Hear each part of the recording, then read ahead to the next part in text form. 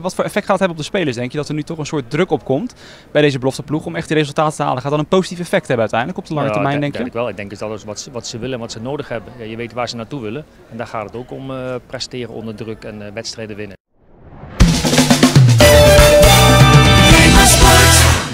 Rini Kolen, allereerst wedstrijd van vandaag. Feyenoord onder 21 tegen ADO onder 21, 1-1. Ehm wat vond je ervan? Ach ja, je wilt natuurlijk altijd vooraf wel eh, wedstrijd winnen. En dat is eh, duidelijk, daar speel je ook voor. Dit soort wedstrijden, zeker in de competitie die wij willen gaan spelen, gaat het ook om, eh, om winnen straks. Maar dat was natuurlijk niet het allerbelangrijkste vandaag. Kijk, we zijn natuurlijk een aantal weken we- bezig nu. Het gaat om de spelers fit krijgen, zo ver krijgen om straks 90 minuten aan de bak te kunnen. Dat geldt voor allen. Mhm. En daarnaast heb je natuurlijk je teamafspraken waar je de hele week aan werkt. En waarin je van wedstrijd naar wedstrijd wat accenten zet. En, eh, en die je met je elkaar afspreekt. En die je dan weer als vertrekpunt hebt eh, vanaf maandag om ze na te bespreken. Dus eh, we zijn op koers. Er kunnen altijd nog heel veel dingen beter. Dat is heel erg duidelijk. Maar ik ben tevreden over de arbeid die we tot dusver hebben verricht. En ook de afspraken die we gemaakt hebben. En, eh, en die zullen ook nakomen.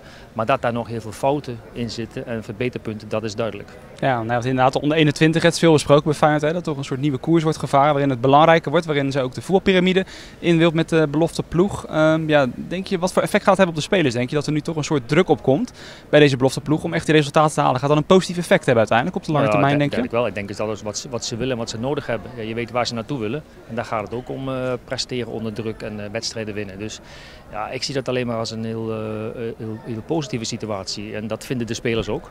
Alleen wij moeten dat wel laten zien. Dat is ook de reden waarom wij eh, ook vandaag een aantal afspraken hebben gemaakt. Dat heeft te maken met, eh, ja, met zakelijk spelen bijvoorbeeld. Hoe kun je wedstrijd naar je toe trekken? Kun je altijd maar druk blijven zetten? Of moet je in verschillende zones compact gaan spelen? Ja, die volwassenheid moet er wel langzaam in gaan komen. Om, om toch echt goed voor de dag te komen. Compact georganiseerd om, om wedstrijden te winnen. Maar vooral om goed te kunnen voetballen. Ja, precies. Sowieso wat me opviel vandaag, eh, jongens als Hendricks, eh, Weerman, Azarkan. eh, die misschien zou verwachten bij de onder 21 er niet bij. Is dat dan omdat Dick Advocaat ze morgen wil gebruiken tegen, tegen ja, ik denk dat dat helder is. Natuurlijk is dat, dat zijn jongens die bij onze selectie zijn, maar natuurlijk ook heel dicht bij de A-selectie zitten, bij het eerste helftal. En daar gaat het natuurlijk wel om, als ze daar speeltijd gaan krijgen. Dat hebben ze vorige week ook, ook een aantal gehad. Ja, dat zijn natuurlijk meerwaardes. Als ze daar kunnen spelen, dat is natuurlijk fantastisch. Ja, maar natuurlijk zegt dat iets over onze voorbereiding, want ja, het zou kunnen zijn dat ze gewoon bij ons gaan spelen. Dat is ook de, de bedoeling. Maar als ze de stap kunnen maken naar het eerste elftal, ze kunnen daar gebruikt worden. Eh, ja, dat heeft alleen maar, eh, daar kunnen ze alleen maar eh, veel van leren. En ja, die mensen heb je vandaag niet bij. Ja, natuurlijk heb je dat liever wel. Maar ik denk niet dat het de belangrijkste prioriteit is. De belangrijkste prioriteit is om via Feyenoord bij het eerste elftal te komen. En als ze daarbij zitten, dan doet me dat deugd. Nou goed dat je zegt het net. Dat is natuurlijk ook de uitdaging voor jou als onder 21 trainer natuurlijk. Ja, dat je niet elke week misschien de ideale elf kan opstellen. Omdat er natuurlijk hè, sommige jongens tegen het eerst aan zitten en daar gebruikt moeten gaan worden. Maar goed, dat is eigenlijk ook wel naar waar je naartoe wil natuurlijk. Ja, nou, natuurlijk. Dat, kijk, als als je met een, naar een team moet werken en je moet naar vastigheden werken, ja, natuurlijk is het altijd het beste eh, dat je veel spelers constant bij, eh, bij je hebt. Maar ja, het is wel heel logisch als die mogelijkheden zijn. En de situatie is zo dat ze nodig zijn bij het eerste elftal.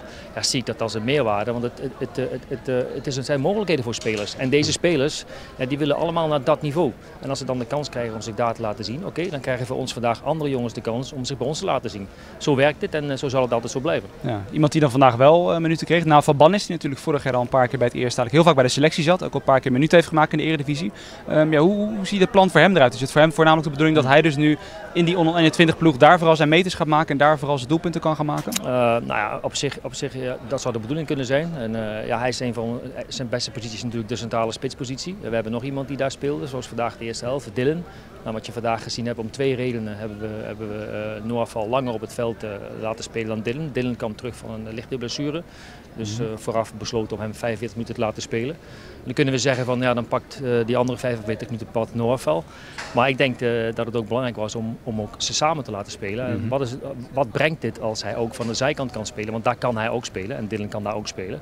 Dus uh, het zijn dingen uittesten en tegelijkertijd gaat het ook om de juiste minuten maken. En Noafal was vandaag klaar om langer te spelen. En dat zijn dan op twee verschillende posities, maar uh, dat heeft hij goed gedaan.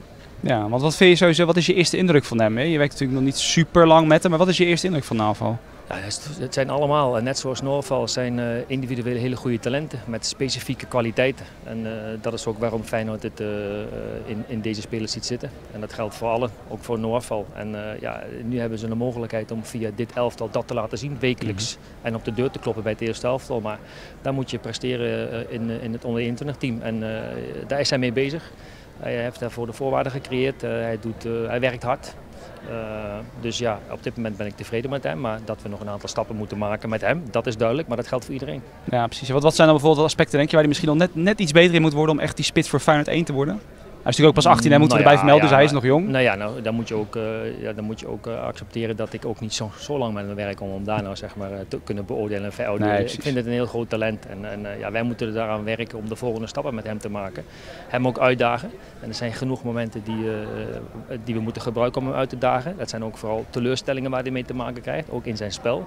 Maar ja, dat proces is, is in gang gezet. En nogmaals, ik kan alleen maar zeggen dat hij op dit moment dat heel goed oppakt.